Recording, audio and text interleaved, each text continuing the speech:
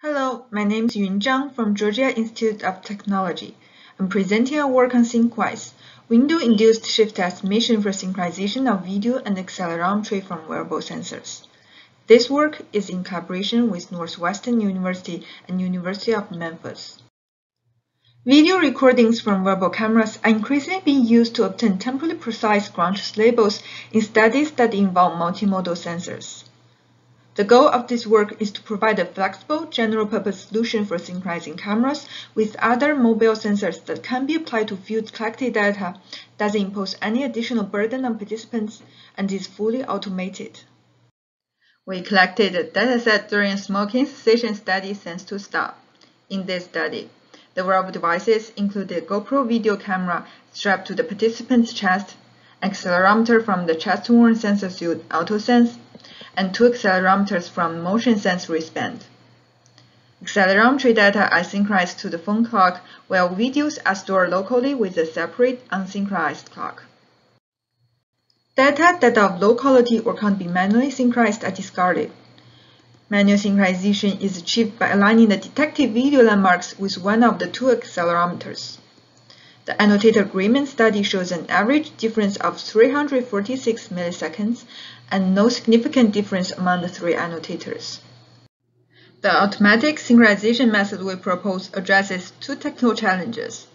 Partial observability refers to the fact that the time interval in which synchronization points can be reliably identified are sporadically distributed. We address it via window-based kernel density estimation approach. The second challenge of coordinate restoration arises when the two sensors are not rigidly mounted and calibrated during installation and output data with respect to two separate 3D coordinate systems. We address it by using a PCA analysis to identify a common principal direction between modalities prior to restoration. Different portions of accelerometry data can vary significantly in quality due to missing data points, as the result of various transmission problems. In this work, we sample windows where each second of data contains more than 75% of valid data points. In order to compare video and accelerometry, a key operation is to extract an estimate of acceleration from video movement. This is accomplished by first calculating optical flow for each pair of adjacent frames in the video and then average the optical flow spatially for each frame and compute the difference in the average optical flow. This provides a 2D camera acceleration feature vector for each frame. Our approach to matching noisy video and accelerometry signals captured from mobile devices has three steps. Window pair sampling, window pair matching, and offset estimation. The first step selects high-quality window pairs for matching as a way to overcome the noise and missingness in data. The second step matches each window pair by calculating their cross correlation, which gives a local time shift estimation and the confidence of this estimate. The confidence score captures the fact that not all window pairs are equally informative regarding the true offset. Intuitively, higher and sharper peaks are associated with more reliable estimates. We evaluate two versions of our algorithm, using the x-axis of both data streams and using the PCA projected data. The final step uses weighted kernel density estimation to combine noisy estimates of the shift produced from multiple accelerometry video window pairs to obtain an accurate estimate. This experiment compares the performance of baseline and SyncWISE using a simulated dataset with randomly generated ground truth offsets in the range of negative 3 to 3 seconds. Apart from average error, we use the percentage of clips within an offset error to evaluate our method.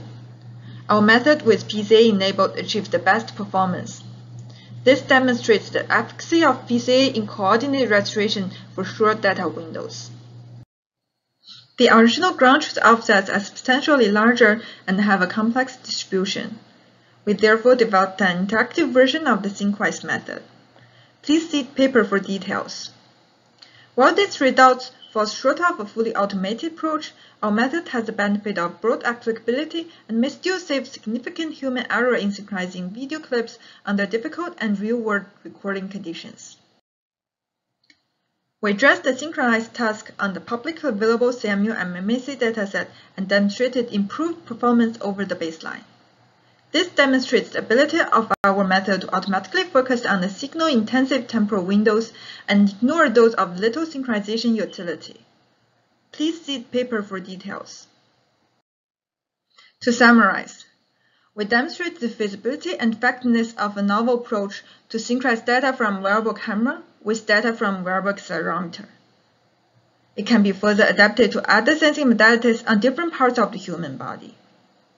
Doing so will enable temporal alignment of video-derived labels to diverse wearable sensor signals obtained from the in-wild environment. Finally, we provide our novel sense2stop sync dataset for use as benchmark for in-the-wild time synchronization along with our time synchronization software.